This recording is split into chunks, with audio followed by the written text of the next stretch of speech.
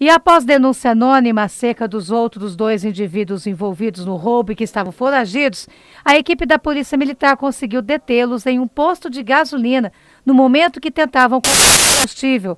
Realizado busca pessoal, com eles alguns objetos do é, Nós tivemos informações que na tarde de hoje, é, quatro indivíduos masculinos teriam invadido uma chácara no bairro Campo Redondo e sob violência e grave ameaça, com um porte de arma de fogo, eles haviam amarrado aí a empregada da chácara e subtraído vários pertences, inclusive uma motoneta de propriedade da empregada, joias e outros objetos.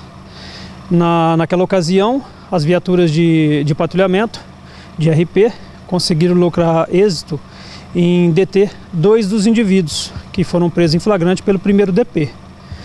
É, posteriormente, quando a equipe de Canil adentrou o serviço, é, nós continuamos aí no patrulhamento e graças a informações novamente de populares da cidade, é, tivemos aí o nome de dois comparsas. Patrulhamento ali próximo do bairro Paulo Prata, é, acabamos por surpreender dois adolescentes é, chegando no posto Adrian, é, na tentativa aí de colocar combustível em um galão plástico. É, na ocasião eles se encontravam na poste de duas bicicletas, foram abordados e submetidos à busca pessoal. Um deles é, se encontrava aí com um anel dourado e um crucifixo, produto do roubo. É, acabaram por ser indagados e acabaram por confessar aí a participação no roubo. Os mesmos informaram o paradeiro da motoneta e no conjunto Luiz Espina, no apartamento de um dos indivíduos, foi localizado mais objetos, provavelmente produtos de furto, além de entorpecente. Os menores já têm passagem pela polícia. Inclusive, é, foi, foi, foi dito que a motoneta se encontrava pelo condomínio Astúrias, no Luiz Espina, de frente ao bloco 2, apartamento de um dos, dos adolescentes.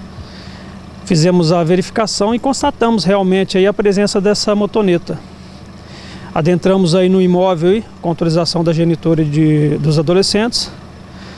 De um deles acabamos por localizar vários objetos de procedência duvidosa, é, mais de 70 Eppendorfs aí com cocaína também, tanto que foram inclusive aí é, notificados aí pelo tráfico de entorpecente também.